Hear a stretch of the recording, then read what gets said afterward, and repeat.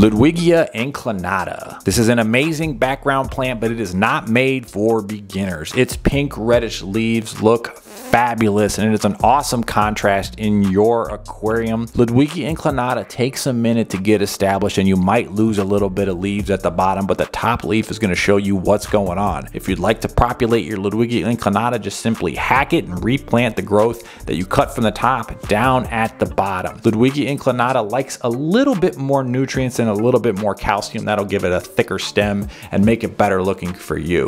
Ludwigia inclinata is an intermediate plant, but if you're already keeping Ludwigia repens or Ludwigia Triple Red, try some Ludwigia Inclinata for a wow factor in the background of your aquarium.